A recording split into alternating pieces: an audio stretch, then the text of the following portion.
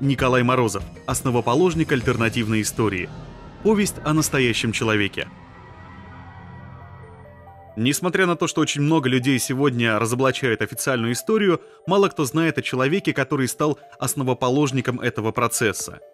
И вычислил он это математически, при этом не имея высшего образования – Морозов Николай Александрович родился 8 июля 1854 года в имении Барок Молокского уезда Ярославской губернии. По отцу он принадлежал к старинному дворянскому роду Щепочкиных. Умер, когда ему исполнилось 92 года. Во время одного из своих юбилеев, отмеченного в Барке, Морозов привел гостей на место своего рождения и сказал «Вот здесь мать родила меня в бане. С нею не было не только доктора, но и простой деревенской повивальной бабки – она сама управилась, вот тут в пруду и обмыла меня, и вот ничего, вышел не хуже других.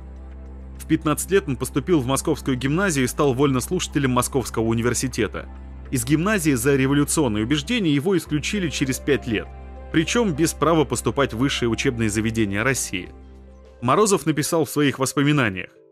Я мечтал все время стать доктором или ученым-исследователем, открывающим новые горизонты в науке, или великим путешественником, исследующим с опасностью для своей жизни неведомые тогда еще страны. Он работал кузнецом и при этом в соседней деревне вел пропагандистскую работу и сотрудничал в журнале «Бакунина работник». Когда начались аресты, он оказался в тюрьме, а после выхода он стал редактором журнала «Земля и воля». Именно в этот период первого года заключения он жадно изучал математику, астрономию и иностранные языки. Потом эти знания и стали основой его самостоятельных размышлений. В 1880 году Морозов в Лондоне дважды встречался с Карлом Марксом, получил от него предисловие к русскому изданию манифеста, который он перевел на русский. По возвращении был арестован по куда более серьезному обвинению участия в одном из предыдущих покушений на Александра II а в возрасте 26 лет Николай получил пожизненное заключение, сначала в Петропавловской, а затем в Шлиссельбургской крепости. На этом, казалось бы, и конец истории человека, но не тут-то было. Сказанные им фразы когда-то имеют прямое отношение к характеристике его личности. «Я не сидел в крепости, я сидел во Вселенной». Одиночки в крепостях, как правило, не отличались комфортом, узникам запрещалось всякое общение с внешним миром, и даже надзирателям было запрещено любое общение с заключенными – а фамилии заменили на номера. Прогулки также были запрещены, помимо того и окна камер были замазаны мелом. Литература тоже под запретом, и все, что оставалось у такого человека, это его воля и его сознание. Та самая вселенная, которая есть в каждом, но о которой нас заставляет забыть в суете повседневности. Плесень по стенам и каменному полу и непрекращающаяся работа мысли, итогом которой стали 26 тетрадей Николая Морозова – кстати, в записях тюремного лекаря Вильмса упоминалось, что у арестанта номер 10 начала развиваться цинга, осложненная поражением сочленения правой стопы. В качестве лечебного средства, представьте себе, была назначена кружка молока. Но Николай разработал свою систему физических упражнений, которые помогали поддержать его организм.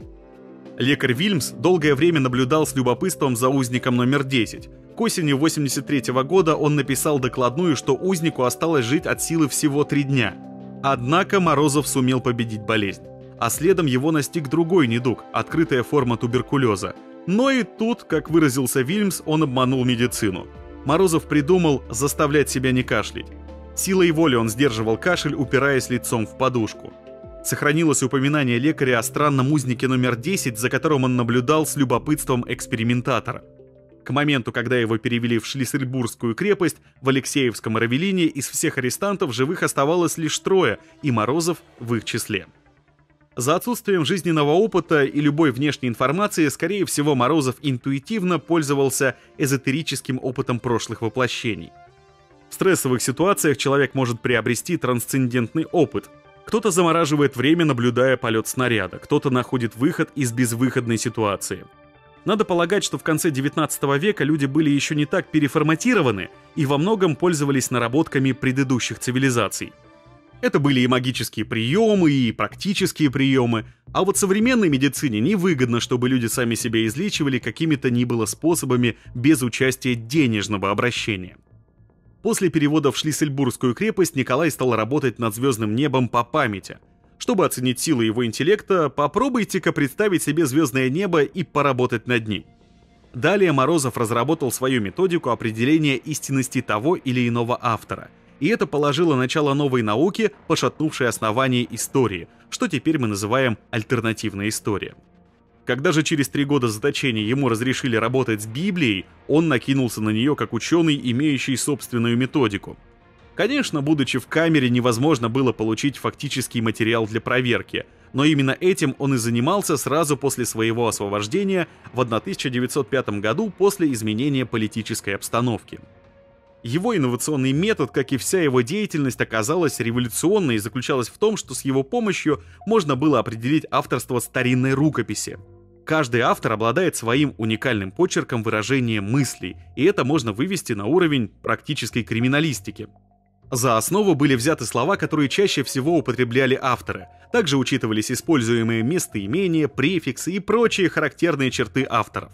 И уже в 1915 году Морозову удалось подтвердить истинность метода на детальном анализе Гоголя, Пушкина, Толстого и Тургенева.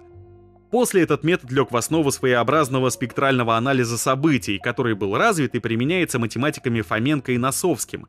Это люди, которые, как мы знаем, стронули ледник лживой истории человечества. В заключении Морозов вел свои тетради, где, помимо прочего, разрабатывал фундаментальную теорию – она называлась «Периодические системы строения вещества». Его работа была опубликована без указания авторства в 1901 году, а после освобождения по предоставлению Менделеева Морозову была присуждена степень доктора химии без защиты диссертации и, заметьте, при этом без получения официального образования. Морозов упорядочил таблицу Менделеева. В своем труде он доказал существование элементов, которые еще на тот момент не были открыты, и их точное расположение – этот факт признают как в российской, так и в зарубежных академиях наук. Считается, что первая модель атома была создана лордом Кельвином, но еще до этого Морозов создал свою систему, которая выводила все сложные элементы из трех, а после из пяти простейших элементов.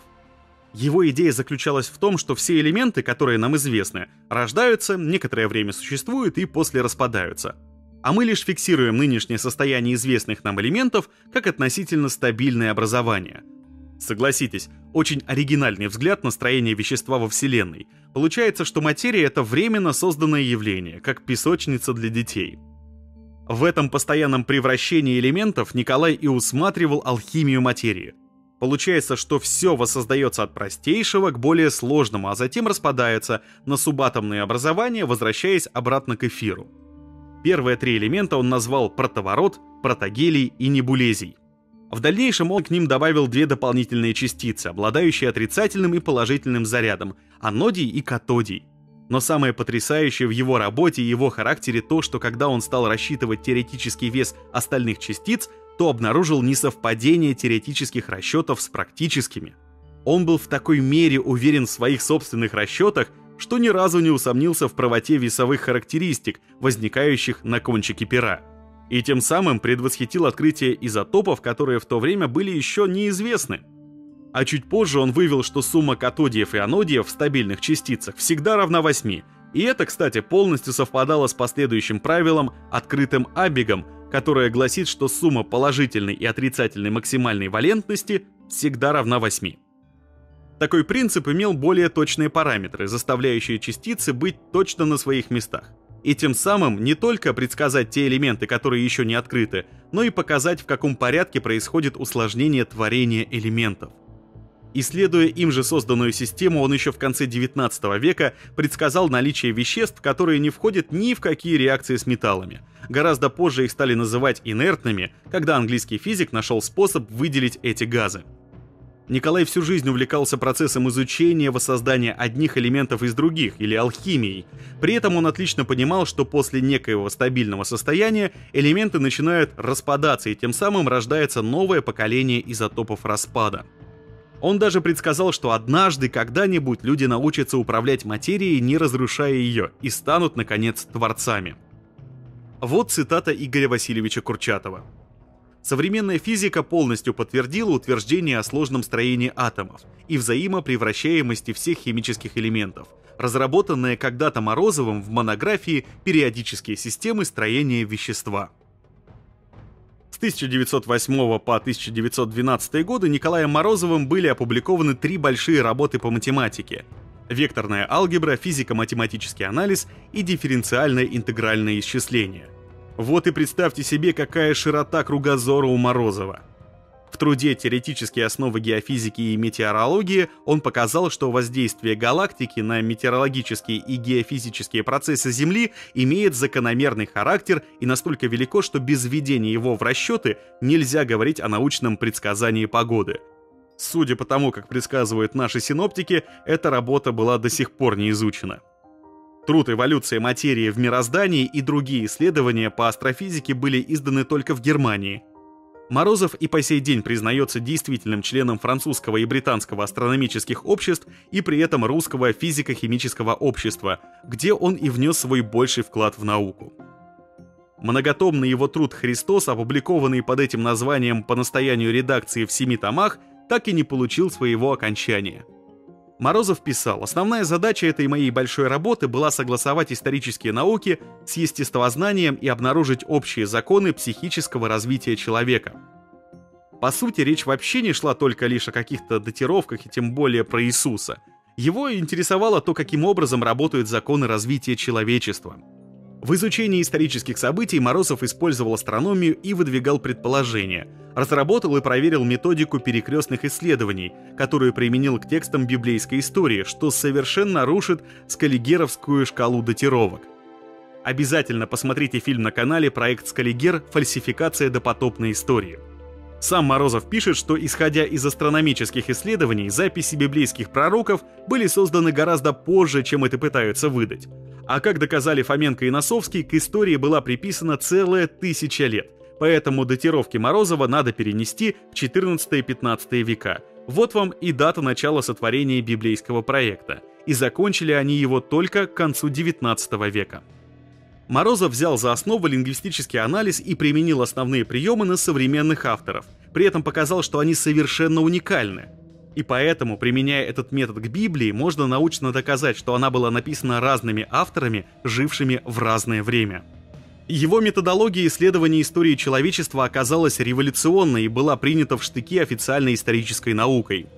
Приводимые им факты объявлялись голословными и также голословно же отвергались.